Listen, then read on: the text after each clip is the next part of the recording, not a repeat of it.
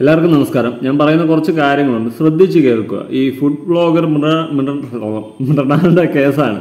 അപ്പോൾ അതിനു മുമ്പ് എനിക്ക് എന്റെ ഒരു പേഴ്സണൽ അനുഭവം കൂടി എനിക്ക് ഈ ഘട്ടത്തിൽ ഷെയർ ചെയ്യണമെന്ന് തോന്നി. അപ്പോൾ എനിക്ക് രണ്ട് ബെസ്റ്റ് ഫ്രണ്ട്സ് ഉണ്ട്. അതിൽ ഒരുത്തൻ ഗൾഫാണ്. ഗൾഫിൽ പോയി. ഒരുത്തൻ ഇവിടെ നാട്ടിലുണ്ട്. അപ്പോൾ ഇവനൊരു സ്ഥാപനത്തിൽ വർക്ക് ചെയ്യുകയാണ് സ്ഥാപനത്തിൽ വർക്ക് ചെയ്യുന്ന സമയത്ത് ഞാനൊരു ആവശ്യമായിട്ട് അവന്റെ സ്ഥാപനത്തിൽ പോയി. അപ്പോൾ അവന്റെ കൂടെ വേറൊരു സ്റ്റാഫും അവിടെ ഉണ്ട് ഒരു സ്റ്റാഫ് ഒരു മെയിൽ സ്റ്റാഫ് തന്നെയാണ്. അവിടെ ഉണ്ട് ഓക്കെ അങ്ങനെ അങ്ങേര് എന്റെ അടുത്ത് കാര്യങ്ങളൊക്കെ കുറേ ഒരുപാട് സംസാരിക്കുകയും കാര്യങ്ങളൊക്കെ ചെയ്തു. ഞാൻ ഒരുപാട് സംസാരിച്ച് കാര്യങ്ങളൊക്കെ ചെയ്തു. അവസാനം എന്തോ ഒരു സാഹചര്യത്തിൽ എന്റെ മാല എന്റെ കഴുത്തിലെ ചെയിന് അങ്ങേരൊന്ന് കണ്ടായിരുന്നു. കണ്ടല്ലോ? കുരിശ്. അപ്പോൾ കുരിശ് കിട്ടുമ്പോൾ ഞാൻ ക്രിസ്ത്യാനല്ലേ ക്രിസ്ത്യാനി. അപ്പോൾ ആ ആ ഒരു ഇതിൽ അങ്ങനെ ചോദിച്ചു ക്രിസ്ത്യനാണോ എന്ന് ചോദിച്ചു. നമ്മൾ ഓന്ന് പറഞ്ഞു. പിന്നെ നീ ഇവന് എങ്ങനെ കമ്പനിയായെന്ന് ചോദിച്ചു. നീ ഇവന് എങ്ങനെ കമ്പനിയായി അപ്പോൾ എന്റെ ഫ്രണ്ട് ഹിന്ദു ആണ് അപ്പോൾ ഞാൻ ക്രിസ്ത്യനാണ്. പിന്നെ നിങ്ങൾ രണ്ടുപേരും എങ്ങനെ കമ്പനിയായി അതാണ് അങ്ങേരെ ചോദ്യം. ഞാൻ ഇങ്ങനെ ഒരു നിമിഷം സ്റ്റക്കായി ഏ ഇതെന്താ ഇങ്ങനെ?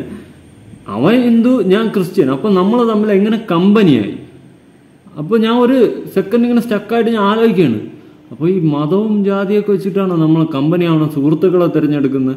എന്നുള്ള മെന്റാലിറ്റി അടിച്ചു ഞാൻ പക്ഷെ അവിടെ ചോദിച്ചില്ല. ചോദിക്കാത്തതാണ് മനഃപൂർവം ചോദിക്കാത്തതാണ്. കാരണം എന്ന് വെച്ച് കഴിഞ്ഞാൽ ഞാൻ അവനെ കാണാൻ പോയതാണ് ഒരാവശ്യമായിട്ട്. അവൻ അവിടുത്തെ സ്റ്റാഫാണ്. അങ്ങേര് അവനേക്കാളും കുറച്ചുകൂടി ഒരു പൊസിഷൻ ഹൈ ആണ്. അങ്ങേരുടെ താഴെ നല്ല ആ ഒരു ലെവൽ മനസ്സിലായില്ല? അവൻ എന്റെ ഏജാണ് അങ്ങേര് പത്ത് നാൽപ്പത് വയസ്സിന് മേളിൽ വരും. ആ ഒരു ലെവലാണ് അപ്പോൾ ഞാൻ ഇങ്ങനെ ആലോചിച്ച്. പക്ഷെ ഞാൻ ചോദിച്ചില്ല. ചോദിച്ചു കഴിഞ്ഞാൽ അവിടെ ഒരു മുഷു ഉണ്ടാവും ഉറപ്പായിട്ടുണ്ടാവും. കാരണം ഞാൻ ചോദിച്ചു കഴിഞ്ഞാൽ മുഷിവാക്കും. എങ്ങനെയെങ്കിലും മുഷിവാകും. പക്ഷെ ഞാൻ അത് ചോദിച്ചില്ല. ചോദിച്ചു കഴിഞ്ഞാൽ നാളെയും ഞാനവിടെ പിന്നെ പോകുന്നതല്ല. എനിക്കത് അങ്ങനെ ബേസ് ചെയ്യേണ്ട കാര്യം അങ്ങനെ വിഷയമായിട്ട് ഒന്നും വരില്ല. പക്ഷേ അവനത് വിഷയമാണ്. അവൻ അവിടുത്തെ ഒരു സ്റ്റാഫാണ്. ചിലപ്പോൾ ഞാൻ ചോദിക്കുന്ന മുഷിയിലുള്ള കലിപ്പ് ഇവന്റെ അടുത്ത് തീർക്കും. അതുകൊണ്ട് ഞാൻ ചോദിച്ചില്ല. പക്ഷെ ഞാൻ പുറത്തിറങ്ങിയതിന് ശേഷം അവന്റെ അടുത്ത് അളേ ഇത് എന്തോന്നളേ ഇങ്ങനെ ഇങ്ങനെ ഇങ്ങനെ ഞാൻ അങ്ങനെ ചോദിച്ചു. അപ്പം അവൻ പറഞ്ഞു അങ്ങനെ ഒരു കൃക്കനാണെന്ന് എന്റെ അടുത്ത് പറഞ്ഞു. അപ്പോൾ നിങ്ങൾ ആൾക്കാരെ മെന്റാലിറ്റി ഒന്ന് ആലോചിക്കണം. മതം. നീ ക്രിസ്ത്യൻ അവൻ ഹിന്ദു. നിങ്ങൾ എങ്ങനെ കമ്പനിയായി? ഏ? ഞാൻ അവന് സ്കൂളിൽ പഠിച്ച പോലെയുള്ള കമ്പനിയാണ്. നമ്മൾ കൊച്ചു അഞ്ചാം ക്ലാസ് പോലെയുള്ള കമ്പനി ഇപ്പോഴും നിൽക്കുന്ന കമ്പനിയാണ്. അപ്പോൾ അങ്ങേരെ മെന്റാലിറ്റിയാണ് ഞാൻ ക്രിസ്ത്യൻ ആയതുകൊണ്ടും അവൻ ഹിന്ദു ആയതുകൊണ്ടും നിങ്ങൾ എങ്ങനെ ഒരു കമ്പനിയായി? അതെന്ത് ചോദ്യം? നിങ്ങളൊന്നും ചിന്തിച്ചു നോക്കി. ഈ വീഡിയോ കാണുന്നവർ തന്നെ ഒന്ന് ചിന്തിച്ചു നോക്കി. എന്ത് ചോദ്യമാണത്? ഏ? അപ്പൊ ഹിന്ദുക്കളും ക്രിസ്ത്യൻസും കമ്പനി ആയിക്കൂടെ? ക്രിസ്ത്യൻസും മുസ്ലിമും ഹിന്ദുക്കളും എല്ലാവരും ആരുമായിട്ട് കമ്പനി ആവാൻ പാടില്ല. എനിക്ക് അറിയാൻ പാടില്ലാത്തതുകൊണ്ട് ചോദിക്കുകയാണ്. അപ്പൊ ഇന്നും മനുഷ്യരുടെ മനസ്സിലും തലയ്ക്കകത്തും ഈ സാധനമുണ്ട്. വിഷ വർഗീയത അതുണ്ട്. അതിന്റെ ഓരോ ഓരോ ചൂടാണ്. ഞാൻ ഒരിക്കൽ പോലും ചിന്തിച്ചിട്ടില്ലല്ലോ. ഞാനിപ്പോൾ എന്റെ ഏതെങ്കിലും രണ്ട് രണ്ട് പേരെ കണ്ട ഒരു മുസ്ലിമോ ഒരു ക്രിസ്ത്യാനോ ഒരു ഹിന്ദു ആരെങ്കിലും നിൽക്കണമെന്ന് വെച്ചാൽ ഓ നീ മുസ്ലിമാണ് നിങ്ങൾ എങ്ങനെ കമ്പനി ഇങ്ങനെ ചിന്തിച്ചിട്ട് പോലും ഇല്ല അങ്ങനെ ചിന്തിച്ച്. അപ്പൊ അത് അങ്ങനെ തലയ്ക്കകത്ത് എന്തായിരിക്കും? ആലോചിക്കാന്നേ ഉള്ളൂ. മതം. ആ രണ്ട് മതങ്ങൾ തമ്മിൽ എങ്ങനെ ചേർന്നു? എങ്ങനെ കമ്പനി എങ്ങനെ കൂട്ടായി? ഈ ഒരു വിഷമാണ് അങ്ങേരെ ഉള്ളിലുള്ളത്. അല്ലേ? ആണ്. അപ്പൊ അതുപോലത്തെ ഒരു കേസാണ് ഈ ഫുഡ് ബ്ലോഗർ മൃണാല. എനിക്ക് വായിൽ ഭരന്നുമില്ല നാക്ക് കുളുക്കണം അങ്ങനെ. എല്ലാവർക്കും അത്യാവശ്യം അറിയായിരിക്കും. ഏഹ് ഇപ്പോ സംഘടനാ കാര്യങ്ങളൊക്കെ ഈ യൂട്യൂബേഴ്സിന്റെ കാര്യങ്ങളൊക്കെ അവരൊക്കെ തുടങ്ങിയിട്ടുണ്ട്. അപ്പോൾ അതിൽ പെട്ട് ഈ മൃണാളെന്ന് പറയുന്ന വ്യക്തി സംഘടനയെ വളരെ പുജ്ഞിച്ച് എന്തൊക്കെയോ പറയുന്നത്? എനിക്ക് അതൊന്നും ഇവിടുത്തെ ഒരു വിഷയമല്ല. അത് ഓരോരുത്തരുടെ അഭിപ്രായം എന്തോ ആയിക്കൊണ്ട് പോട്ടെ.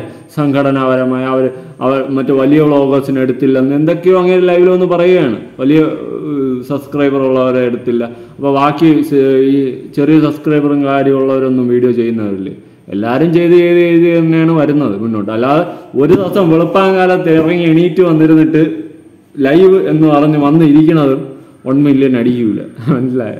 അത് ഏത് ഫുഡ് ബ്ലോഗറായാലും ആരായാലും മനസ്സിലാക്കണം. പിന്നെ ഈ റിയൽ ലൈഫ് റിയൽ ലൈഫ് ഇത് രണ്ടും രണ്ടാണ്. ഈ ഫുഡ് ബ്ലോഗർ മൃണാണ്ട കാര്യത്തിൽ നമുക്കത് തെളിയുകയാണ്. ഇത്രയും വർഗീയത ഉള്ളിൽ കിടക്കുന്ന ഒരു വിഷമാണല്ലോ നിങ്ങളെന്ന് ആലോചിക്കുമ്പോൾ വെറും പുജ്ഞം തോന്നിയത് അങ്ങനെ അവിടെ അവിടുത്തെ ഫുഡ് കൊള്ളൂലെന്ന് പറയുന്നുണ്ട്. ഈ ഇവിടെ കിക്ക് എന്ന് പറഞ്ഞിട്ട് ഒരു സംഘടനയൊക്കെ രൂപീകരിച്ച് അതിന്റെ സെക്രട്ടേറിയറ്റിന്റെ സെക്രട്ടറിയും കാദർ കരിപ്പടി എന്ന് പറയുന്ന വ്യക്തിയൊക്കെ പ്രസിഡന്റായിട്ട് അവർ അടിപൊളിയായിട്ട് മുന്നോട്ട് പോകുന്ന ഒരു സെറ്റപ്പിലെത്തി പക്ഷെ അവിടെ പോയിട്ട് ഈ ഫുഡ് ബ്രോ ചേ വായിലും വരണില്ല. മൃണാല എന്ന് പറയുന്ന വ്യക്തിക്ക് അവിടുത്തെ ഒന്നും പിടിച്ചില്ല. അവിടെ എല്ലാവരെയും മുസ്ലിംസിനെയാണ് അവിടെ ഹെഡുകളാക്കി വെച്ചിട്ടുള്ള പത്ത് പേരെ അഡ്മിനും കാര്യങ്ങളാക്കി വെച്ചിട്ടുള്ള എന്നൊക്കെ പറഞ്ഞിട്ട് വളരെ മോശമായിട്ട് വർഗീയത പറയുകയാണ്. എന്നിട്ട് ഞാൻ വർഗീയത അല്ല പറയുന്നത് എന്ന് പറയുന്നു. സ്വന്തം ഒരു കൂട്ടുകാരനുണ്ട് ഒരു ചീഞ്ഞ ഏതോ കൂട്ടുകാരനും കൂടെ ഉണ്ടായിരുന്നു ഈ വർഗീയത പറയാൻ. മനസ്സിലായോ? എന്നിട്ട് ഞാൻ വർഗീയത ഒന്നുമല്ല പറയുന്നത് എന്നാണ് പറയുന്നത്. ഏഹ് അവിടുത്തെ ഫുഡ് കൊള്ളൂലെന്ന് പറഞ്ഞു. എന്നൊക്കെ പറയുന്നുണ്ട്. അവിടെ ഇവിടത്തെ ലോകങ്ങൾ പോലെ എന്താ ഡി ജെ? ആണ് നമുക്ക് അങ്ങ് പോകണം എന്നൊക്കെ പറഞ്ഞുകൊണ്ടിരിക്കുന്നത് എന്തടേ ആ ബാക്കിയുള്ള അടുത്തൊന്നും ഫുഡ് അല്ലേ എനിക്ക് ചോദിക്കാനാണെങ്കിൽ ആ കാര്യത്തിൽ ഒരുപാട് ചോദിക്കാനുണ്ട് പക്ഷെ ഞാൻ അതൊന്നും ആ ടോപ്പിക്കിലോട്ട് ഒന്നും ഞാൻ കിടക്കുന്നില്ല ഇതാ ഈ ഒരു ഭാഗം കണ്ടിട്ട് വരും നിങ്ങൾ എത്ര പേരുടെ സമയം മെനക്കെടുത്തിട്ടുണ്ടാവും ഇവരെന്താ ഉദ്ദേശിക്കുന്നത് north Kerala association of Muslim ഇൻഫ്ലുവൻസേഴ്സോ Kerala influencers community K I C kick എന്നാണ് അതിന്റെ പേര് എന്നാണ് അവർ പറഞ്ഞത്. എനിക്ക് പറയാനുള്ളത് എന്നറിയോ Muslim influencers association of north Kerala.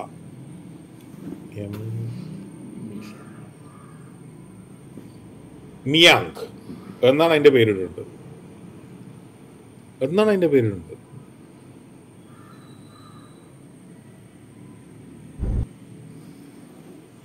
അവിടെ നിൽക്കുന്നവർ ഭൂരിഭാഗം മുസ്ലിംസാണ്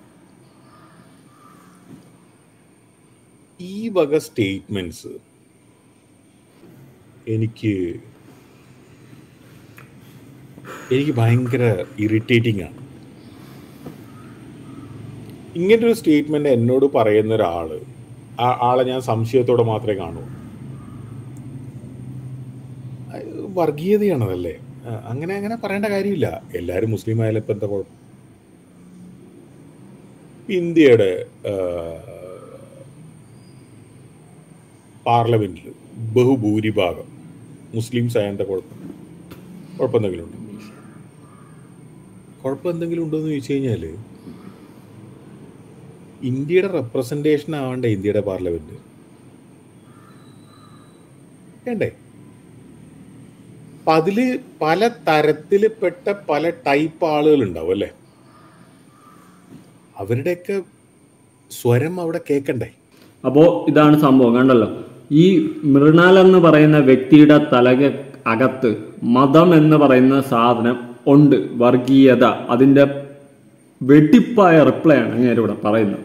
കാരണം അതില്ലെന്ന് ഒരിക്കലും പറയും. എന്നിട്ട് ഞാനൊന്നും അങ്ങനെയൊന്നും അല്ല ചിന്തിച്ചെന്ന് പറയുന്നുണ്ടെങ്കിലും ഞാൻ പറയും. കാരണം എന്ന് വെച്ച് കഴിഞ്ഞാൽ ഈ പത്ത് പേരെ കണ്ടിട്ട് അവർ മുസ്ലിം ആണല്ലോ എന്ന് ചിന്തിച്ചിട്ടുണ്ടെങ്കിൽ ഉള്ളിലുണ്ടെന്നാണ് അർത്ഥം. മനസ്സിലായോ? അവരെന്ത് ആ പത്ത് പേര് മനുഷ്യരെന്ന് പറഞ്ഞ് ചിന്തിച്ചില്ലല്ലോ. അവർ മുസ്ലിംസ് എന്നുള്ള രീതിയിൽ ചൂണ്ടിക്കാണിച്ചിട്ടുണ്ടെങ്കിൽ പൊന്നു മോനെ മൃണാൽ മോനെ എന്നെക്കാളും നല്ല വയസ്സ് മൂപ്പാണ്. എങ്കിലും ഞാൻ പറയാണ് ഭയങ്കര വർഗീയതായിപ്പ് പുജ്ഞം തോന്നുകയാണ് അട്ടർ പുജ്ഞം തോന്നുകയാണ് നിങ്ങളടുത്ത്?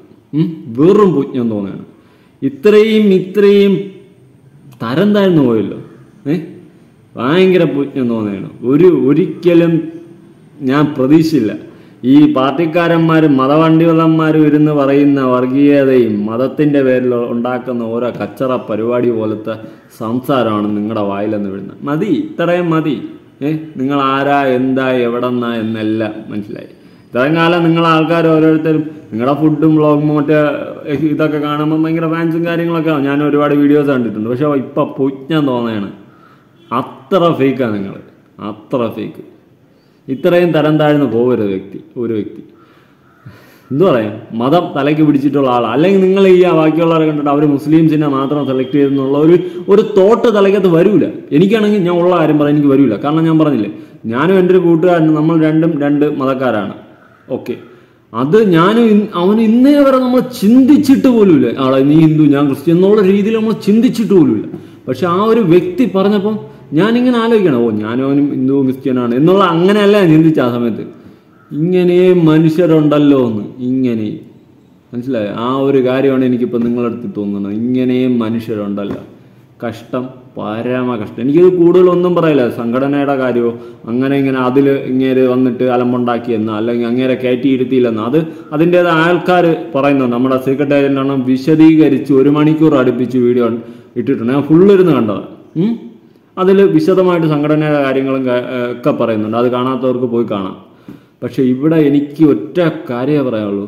നിങ്ങളുടെ വർഗീയത മൈൻഡ് പുജ്ഞം. വെറും പുജ്ഞം. ഇങ്ങനെ ആയിപ്പോയല്ലോ. കഷ്ടം.